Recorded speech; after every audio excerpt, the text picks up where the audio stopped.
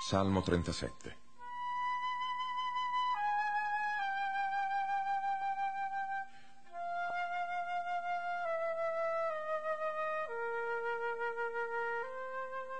Non adirarti contro gli empi, non invidiare i malfattori.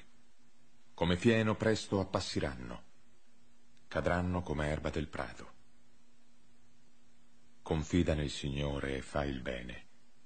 Abita la terra e vivi con fede. Cerca la gioia nel Signore.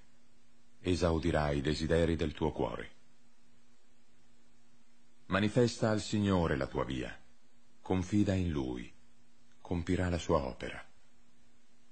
Farà brillare come luce la tua giustizia, come il meriggio il tuo diritto.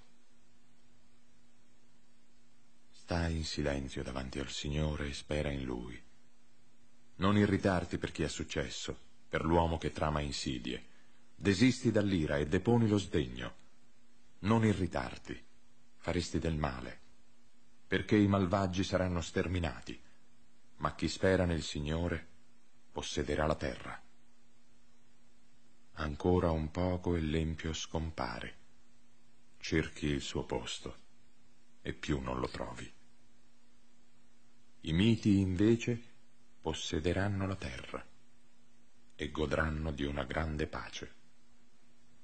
L'empio trama contro il giusto, contro di lui digrigna i denti, ma il Signore ride dell'empio perché vede arrivare il suo giorno.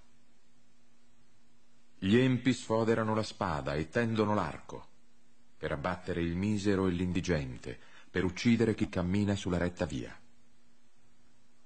La loro spada raggiungerà il loro cuore e i loro archi si spezzeranno. Il poco del giusto è cosa migliore dell'abbondanza degli empi, perché le braccia degli empi saranno spezzate. Ma il Signore è il sostegno dei giusti. Conosce il Signore la vita dei buoni la loro eredità durerà per sempre. Non saranno confusi nel tempo della sventura e nei giorni della fame saranno saziati. Poiché gli empi periranno, i nemici del Signore appassiranno come lo splendore dei prati. Tutti come fumo svaniranno.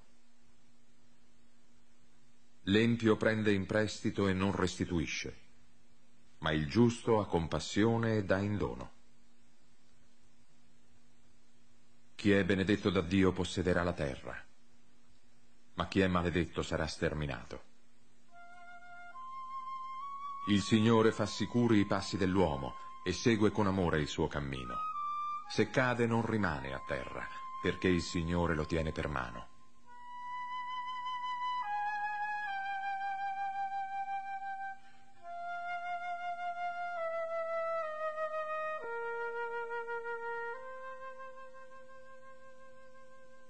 Sono stato fanciullo e ora sono vecchio. Non ho mai visto il giusto abbandonato, né i suoi figli mendicare il pane. Egli ha sempre compassione e dà in prestito. Per questo la sua stirpe è benedetta. Sta lontano dal male e fa il bene, e avrai sempre una casa, perché il Signore ama la giustizia e non abbandona i suoi fedeli. Gli empi saranno distrutti per sempre e la loro stirpe sarà sterminata. I giusti possederanno la terra e la abiteranno per sempre.